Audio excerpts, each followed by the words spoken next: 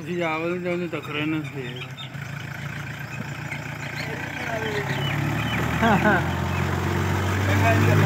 ਠੀਕ ਹੈ ਪਰਚੀ ਤੇ ਦੇ ਲਾ ਉਹਨੂੰ